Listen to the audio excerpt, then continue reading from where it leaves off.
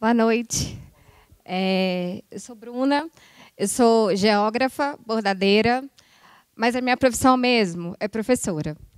E aí eu vim contar hoje a história de como é que as linhas que até então eram paralelos e meridianos se tornaram linhas de bordado. É, eu sempre digo que a Universidade de Brasília me fez geógrafa, me deu todos os instrumentos para me tornar professora de geografia. E o universo fez a bondade de me tornar bordadeira. É, assim que eu saí da universidade, eu já pinguei na sala de aula. E passei muitos anos, muitos anos, dando aula de geografia. Trabalhei em várias escolas da cidade, das militares às confessionais, e a vida estava seguindo bem, tudo dando certo, trabalhando bastante, ganhando muita grana, mas como todo jovem brasiliense e todo mundo que já está aqui eu tenho certeza que sentiu a mesma pressão que eu. Aquela pressão, aquele fantasma do concurso público. A estabilidade, o concurso público, e aí eu mergulhei nessa história. Estudei, estudei, estudei e passei no meu primeiro concurso.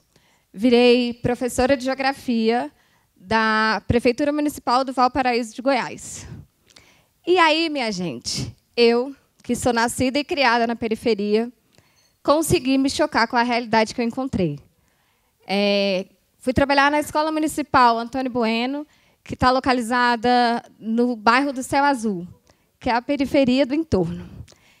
E aí, com aquela responsabilidade, estou aqui, vamos fazer esse serviço, e fui. Trabalhei, estava tudo dando certo, até que um dia eu consegui entrar para duas péssimas estatísticas no mesmo dia. E aí você vai saber como é que isso aconteceu. Era uma quarta-feira, um dia normal. Eu estava terminando a minha aula numa turma de sexto ano, na nossa época, a quinta série. É, grande maioria da turma, alunos fora da faixa etária, então uma distorção, seriedade altíssima. Eu tinha terminado a minha aula e eu estava esperando para poder sair e trocar de turno, né? Até que eu estava assim, parada, com o corpo para dentro da sala, e eu senti um apertão no meio da minha bunda. E aí, nesse dia, eu não sabia, mas a minha história estava começando a mudar. Esse dia eu entrei para duas péssimas estatísticas. A estatística de mulheres que são assediadas no Brasil e a estatística de professores que sofrem violência. O Brasil hoje está no topo de, de, de opa, da estatística que revela que os professores são agredidos em sala de aula. E aí, nesse dia, eu sou uma pessoa extremamente reativa, ou era. Pode não parecer, mas eu sou uma pessoa extremamente brava. Eu acho que por ter vindo ao mundo nessa versão pocket, eu tive que aprender a me defender. Então, então eu sempre fui muito brava. E nessa braveza, braveza toda, sempre na reação, nesse dia eu não tive reação. Eu saí da sala completamente desnorteada e eu só conseguia chorar. Chorar, chorar, chorar, chorar. E quando eu consegui verbalizar o que tinha acontecido, eu escutei coisas do tipo: Ah, é porque você é jovem. Ah, porque você é muito bonita. Ah, isso o, esse é o ônus da nossa profissão. Não, professora, que é isso? Você não foi a primeira e nem vai ser a última. Isso acontece. Não, não fica assim, não, bobo. Isso é brincadeira de criança. E aí, a empatia que eu esperava do meu local de trabalho, onde a gestão da escola até o momento era toda formada por mulheres, eu não tive. E aí eu absorvi toda essa. Não! Minimizaram a minha dor e eu absorvi. Peguei minhas coisas e o que aconteceu? Voltei para a sala. Terminei meu dia e fui para casa. Só que aí tem aquele momento que você vai dormir, né? Aquele momento que você dorme é aquele momento que você pensa em tudo o que aconteceu na sua vida. Tudo. Aí eu fiquei pensando, eu pensei, gente, isso não pode ter acontecido. Não é um desrespeito ao meu trabalho, é um desrespeito ao meu corpo, à minha vida. E aí eu fui pensando, pensando, pensando, e aí eu entrei em parafuso. No dia seguinte, eu saí de casa para trabalhar. Mas o meu destino final foi o hospital. Eu parei no, pronto-socorro, é, completamente desnorteada. E dali eu saí com o meu primeiro atestado médico. E esses atestados me tiraram de circulação por quatro meses e meio. Eu fui diagnosticada até aquele momento em processo depressivo, transtorno de ansiedade generalizada, e me fez ficar em casa por esse tempo todo. Aí você deve estar aí se perguntando: e onde é que o bordado apareceu nessa história? Veja bem, por ironia do destino, eu, essa geógrafa, que só desenhava mapa com legenda, para você ver o nível de desenho. A pessoa que teve que refazer o teste psicotécnico do Detran, porque a coordenação motora era péssima, me tornei bordadeira. E aí, eu sempre gostei muito das manualidades. Só que não tinha o menor feeling para nada. Não conseguia encaixar coisa com coisa. Só que tinham seguia as bordadeiras há muito tempo, gostava sempre das artes. E só de ficar stalkeando na internet, um dia eu resolvi me inscrever num curso de bordado, que iria acontecer muito tempo depois, lá na pupila. E aí eu cheguei e falei, ah, vou me inscrever e tal. E olha o que, que acontece. Essa hora o universo me pregou uma peça. Eu entrei de atestado médico numa quarta-feira, no domingo era o curso de bordado. E aí eu cheguei lá e eu não sabia que aquele dia a minha vida ia mudar.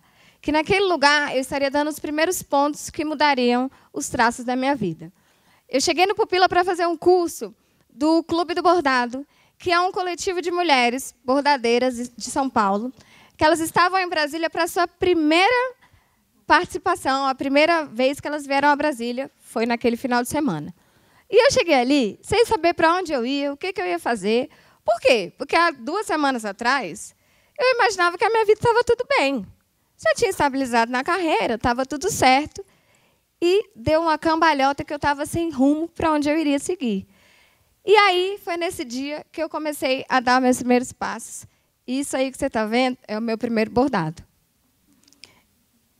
E essa sou eu no primeiro dia do bordado. Olha a cara de felicidade da pessoa. E aí comecei a bordar, e borda uma coisa, e borda outra coisa. E aí fui bordando, bordando, porque né, eu estava parada, não podia sair, estava ali paradíssima. O que, que aconteceu? Comecei a bordar, e borda uma coisa, e borda outra. Fui mostrando para as pessoas, e surgiram as primeiras encomendas. Ai, faz um bordado para mim, achei legal, quero outro. Vamos fazendo, fui postando na internet, até que surgiu a minha primeira encomenda, esse famoso Simba, que mora hoje na casa de uma grande amiga da minha irmã. E dessas encomendas foram surgindo outras. E aí eu fui parar em Paris, fui parar no Coliseu, e, isso, e aí, disso tudo, surgiu o leve bordado, que era o quê? Surgiu como uma terapia ocupacional, e isso virou um Instagram, depois virou um site, virou profissão, virou negócio, virou trabalho. Até que esse bordado aí mudou a minha vida. Esse bordado aí não é meu. Esse bordado é de uma grande amiga minha, no qual é minha primeira melhor aluna, que eu ensinei ela a bordar, porque ela falou, Bruninha, estou precisando aprender alguma coisa nova, quero bordar. E eu estou costurando, depois você me ensina a costurar. Beleza, fui lá, ensinei ela a costurar. E ela levou esse bordado para fazer a barra num ateliê de costura, aqui em Brasília. Super legal. O ateliê Costuras e Vinil. E aí as, as donas de lá viram esse bordado e falaram: Meu Deus, preciso conhecer essa pessoa. E aí eu fui lá um dia e foi quando surgiu o convite de eu me tornar professora de bordado nesse ateliê. E nós fizemos duas turmas em julho. Essa é a minha primeira turma, no dia do meu aniversário. E fizemos duas turmas em julho. E seguimos hoje com duas turmas regulares de bordado livre. Essa é a minha segunda turma. Olha a Elo ali. E, e aí, dessa história, é, o, que, o que eu penso hoje? Que eu, eu aprendo hoje muito mais do que eu ensino. Toda aquela empatia que eu não recebi no momento do meu trauma, eu recebo dessas mulheres. São mulheres que hoje chegaram aos 30, 40, 50 anos, com carreiras bem estruturadas, com filhos, com profissão, com mestrado, tudo certo. Só que precisam de um tempo para si. E hoje, é, eu venho ensinando, aprendendo com cada uma delas. E essas são as obras das minhas alunas. Essas moças aí são as responsáveis por eu ter começado a bordar, por ter mudado a minha história. E aí, bordando, bordando, bordando, até que apareceu esse pé amarelo. Esse pé amarelo, é, daqui a pouco vocês vão poder ver eles no outdoors na cidade. Ele foi para a propaganda do laboratório Sabin. E dessa história toda, qual é a lição que eu tirei disso? De que no bordado a gente sempre fala que um bordado perfeito a gente observa pelo avesso. O avesso tem que ser limpo, sem linha. Só que a nossa vida é um avesso imperfeito, cheio de histórias, um avesso com histórias, quando as linhas vão se cruzando e a gente vai fazendo de cada ponto, cada passo, e a nossa história pode ser construída a partir daí. Obrigada.